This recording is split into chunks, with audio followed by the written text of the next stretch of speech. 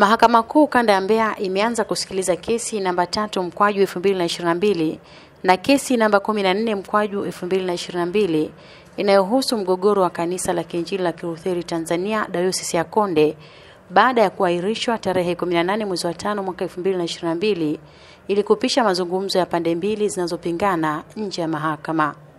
Awali Jaji James Karayemaha alitoa nafasi kwa pande mbili zinazopingana ili kuelezea utekelezaji wa mazungumzo baina ya pande hizo, ambapo upande wa mleta maombi Askofu Dr. Edward Mwaikali ukiwakilishwa na wakili William Mashoke na upande na upande wa mjibu maombi umewakilishwa na wakili Daniel Palanjo. Akitoa taarifa, mleta maombi wakili William Mashoke ameiambia mahakama kuwa mazungumzo hayo yalifanyika tarehe 26 na tarehe 30 mwezi Mei mwaka huu.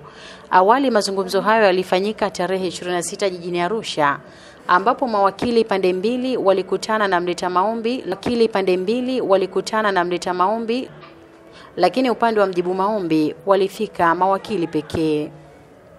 Hata hivyo, baada ya kutofikia mwafaka wa pande zote mbili, walikubaliana wakutane tena tarehe 30 mwezi wa tano mwaka 2022 katika hoteli ya GR City jijini Mbeya muda wa saa nane mchana, lakini kutokana na mkutano wa chama cha wanasheria Tanzania TLS uliofanyika jijini Arusha ulipelekea muda wa kukutana usogezwe mpaka saa 11 jioni.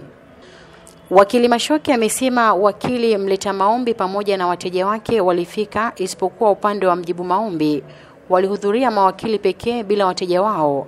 Baada ya hapo kikao kikaendelea, ambapo upande wa mawakili ambapo upande wa mawakili wa waleta maombi walishauri dayosisi igawanywe na kuwe na dayosisi ya mashariki na magharibi kwa lengo la kuepusha mgogoro uliopo ili mleta maombi abaki dayosisi ya mashariki na mjibu maombi namba nne na namba tano wabaki dayosisi ya magharibi, ushauri ambao unaelezwa haukuungwa mkono na upande wa mawakili wa wajibu. Wakili Mashoki aliendelea kuiambia mahakama kuwa baada ya wajibu maombi kutokubaliana kuigawa dayosisi, badala yake waliomba kesi badala yake waliomba kesi iondolewe mahakamani ili kupisha shughuli za kuapishwa kwa askofu mteule, ombi ambalo lilikataliwa na mawakili wa waleta maombi na kushauri shughuli za kuapishwa kwa askofu mteule zisiendelee mpaka pale su, mpaka pale suluhisho la mgogoro huo litakapopatikana. Kwa upande wake, wakili wa wajibu maombi Dr. Daniel Palanjo ameiambia mahakama kuwa walipokutana tarehe 26 mwezi wa tano mwaka 2022 mawakili wa waleta maombi hawakuleta taarifa yoyote kutoka kwa serikali juu ya juu ya jitihada za kusuluhisha mgogoro huo kama mleta maombi alivyosema siku ya tarehe 18 mwezi wa tano mwaka 2022 wakati jaji anaahirisha kesi kwa ajili ya mazungumzo ya mezani. Baada ya jaji James Karayemaha kuzisikiliza pande zote, alisikitishwa na kitendo cha pande zote kushindwa kufanya maridhiano licha ya kupewa muda mrefu. Sababu zilizotolewa na pande zote hazina mashiko ukiz... ukizingatia namna jamii inavyosubiri kupata suluhu juu ya mgogoro huo. Jaji James Karaimaha anasema wajibu wa mahakama ni kuhakikisha migogoro inayofikishwa mahakamani hapo lizika kwa wakati. Jaji aliahirisha kwa muda kikao cha mahakama majira saa sita na dakika 30 hadi saa saba na dakika 45 mchana ili kutoa nafasi kwake kuweza kupitia hoja za pande zote zinazopingana na kutolea uamuzi.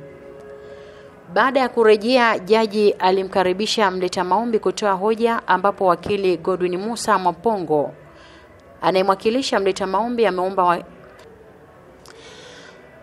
ameomba wakili Azaeli Mwaiteni na Benjamin Bimbela kuwa wao ni waajiriwa wa taasisi na kwamba wao wanaweza kuhitajika mahakamani kutoa ushahidi sambamba na kuitafsiri katiba ya Dayosisi ya Konde na kwamba wanayo maslahi katika kesi hii.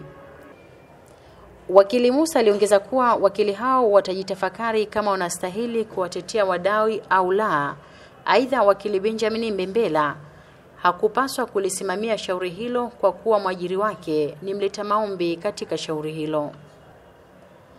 Hoja hizo zimepingwa na wakili Azaeli Mwaiteni kwa kusema kuwa yeye ana haki ya kuwatetea wadai kwani ni sehemu ya wajibu wake licha ya kuwa ni mwajiri wao. Naye wakili Peter Kilanga amesema hoja zote zinazotolewa na mdai hazina mshiko, hivyo mahakama itupilie mbali hoja hizo.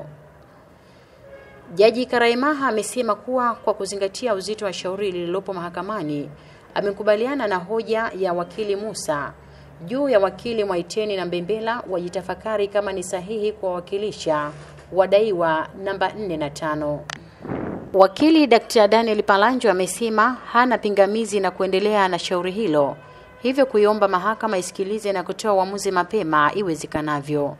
Aidha, Jaji Karaimaha amekubaliana kuendelea kwa mashauri yote mahakamani na kwamba atayasikiliza yote kwa pamoja.